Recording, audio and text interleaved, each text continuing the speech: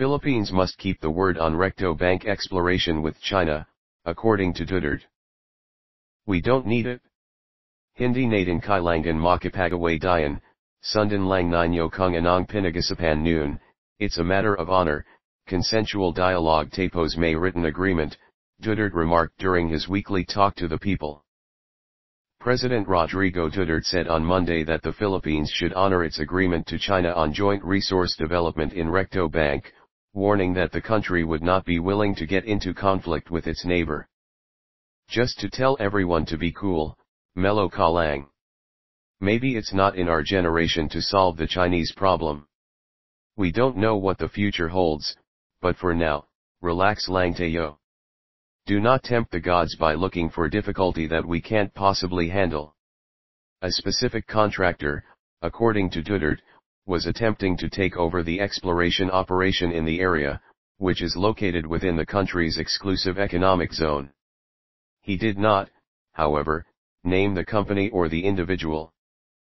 Pinaalala sa akin, wala ko na sabihin kung sino. From China, sabi niya, de ba may usapantayo na cooperative development with Recto Bank, Duterte added. Alam mo, I can only speak for the time that we are here, during my administration, he said, adding, Vinulungan akona wag ganon, iong original contract natin, sundan natin. Paganiba yan, mas delicado, hindi mangyari sa akin kasi ayakao, ayakong ibahin kasi yung ang pinagasipan naman sa panahon ko, remarked Duterte.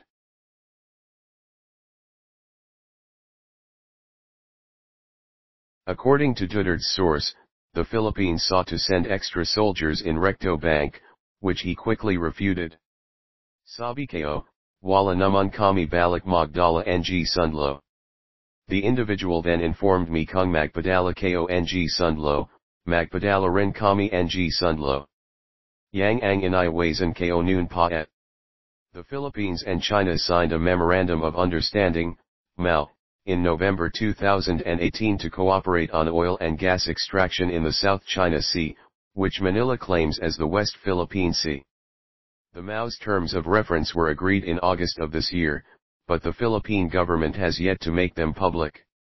In July 2016, the Permanent Court of Arbitration in The Hague declared the Spratly Islands, Panganiban, Mischief, Reef, Ayungin, Second Thomas, Shoal, and Recto, Reed, Bank to be inside the Philippine Exclusive Economic Zone. China, on the other hand, declined to take part in the process and has refused to accept the court's decision ever since. The Chinese Coast Guard fired water cannons at two Philippine supply ships en route to Ayungin Shoal to supply troops aboard the BRP Sierra Madre. Chinese soldiers fired water cannons at Filipino fishing boats near Scarborough Shoal in April 2012 the Philippines filed a lawsuit against